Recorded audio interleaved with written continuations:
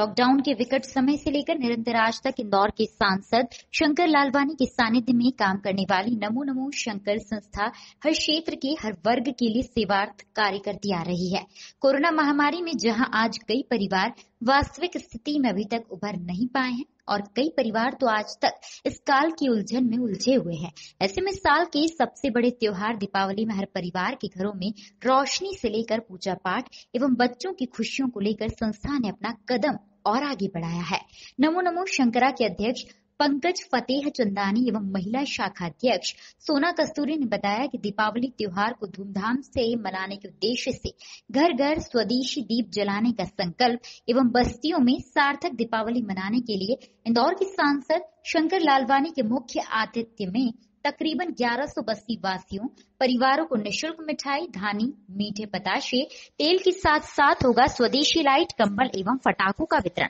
Sindhi colony स्थित साधु वासवानी उद्यान में आयोजित किया गया। कार्यक्रम का मुख्य उद्देश्य बस्ती वासियों के परिवारों के चेहरे पर मुस्कान लाकर दीपावली पर्व को बड़ी धूमधाम से मनाना है। इस अवसर पर पूजा गहलोत, जिनकी 22 नवंबर को शादी है, इनको संस्था की तरफ़ से राशन सामग्री व अलमारी दी गई, साथ ही 20 मुख बधिर परिवारों को दीपावली उपहार दिया गया। कि हम जो बस्तियों में हमारे माता बहनें रहती है,